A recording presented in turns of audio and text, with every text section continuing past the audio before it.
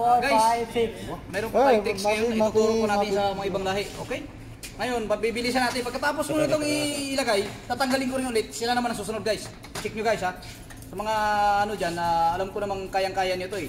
Sa ating mga kabisayaan dyan at sa Mindanao.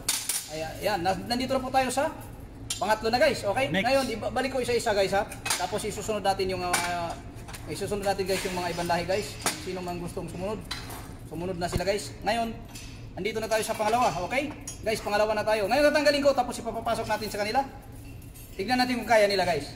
Next bite. natanggal na nga na mo. Oh, natanggal na oh. Bol bol bol kuch bol bangla mein. Ayan, ayan. So, bakit ba? Ngayon, hindi nila alam kung paano ipasok, guys. Hindi ko alam, Bol. Bakit na alam, hindi.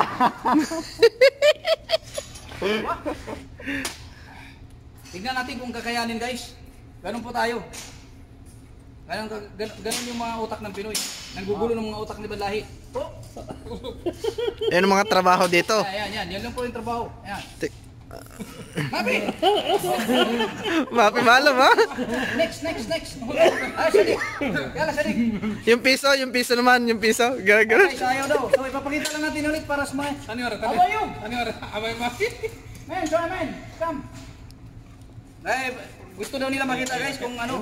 Ulitin natin. Kunan mo naman yung ating mga audience dyan. Kunan, kunan, kunin mo yung mga audience natin. Ito, ang boss namin, oh. Okay. Ah. Kunan mo lang nga. Yala bay, taal bay.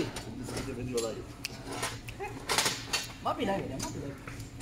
Oh, eh, balik lang po natin. Manonood sila. Ulitin natin guys. Ipasok natin ha.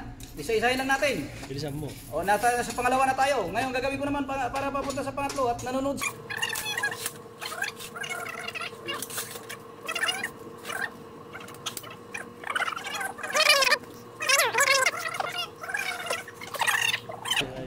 You mean? Oh guys, ayaw na nila guys. Sumuko na guys. Talo tayo. France.